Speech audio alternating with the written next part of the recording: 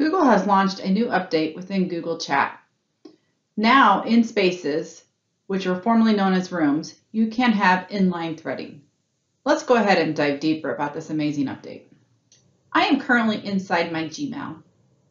And inside Gmail is the integrated workspace. Just a friendly reminder, this is where you access your Gmail, your chat, your spaces, and your Meet. Our topic and our feature is regarding the chat spaces. Please keep in mind you can access your chat spaces also through chat.google or using the progressive web app of chat.google. With that, we're going to focus on the feature update. With that being said, I'm going to go ahead and just create a new space so you're aware of the changes there as well with this update. I'm going to go ahead and click New Space. I'm going to go ahead and select Create a Space.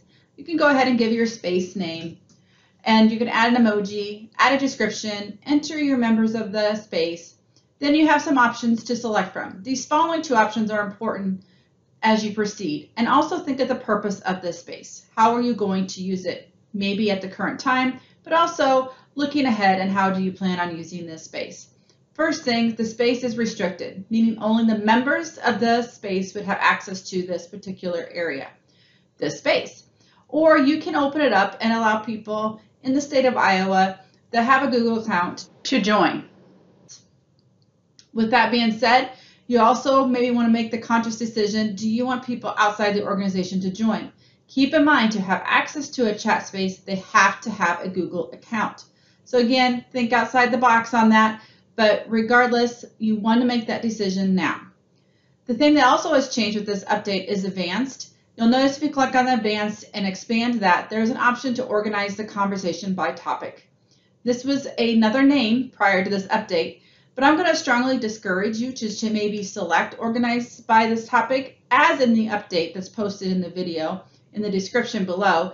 In 2023, this will not be an option. So again, maybe not even use that option. So again, the default will be the inline threading, which we'll talk about more here shortly.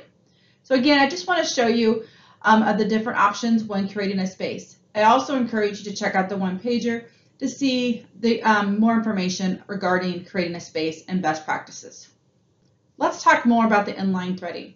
I'm currently in a chat space that's called Demo Inline Threading, the green space icon next to the word demo. With that, you can see there's a conversation going here between trainer 13 and a few replies. This is an example of inline threading. You're probably used to this in many mobile device areas, but if you click on the two replies, you will see the conversation regarding that topic. It's in line with that particular conversation. So I can reply back to this and say, perfect. It is now going to add three replies to that conversation. I can always start a new conversation down here and say, new conversation. And then I can have another user reply to this. Now, how do you do that? You can just hover over the conversation and you'll see a message icon and it'll let you reply in this thread inline threading. Get it? So I could go ahead and say, awesome. And now you can see there's a reply. Now, what's the difference between inline threading and conversation threading? Again, I'm not going to spend much time on the conversation threading because that's going to be going away in the future and the default will always be inline threading. So we might as well get used to what I just showed you. But some of us have created conversations threading within our chat spaces at the current time. So what conversation threading is, is conversation topic is that you can see that you have a new topic that you can bring down here. You click on new topic, it is like another entire different box. So I could say new topic. As you can see, it's all blocked together in one area for that particular new topic.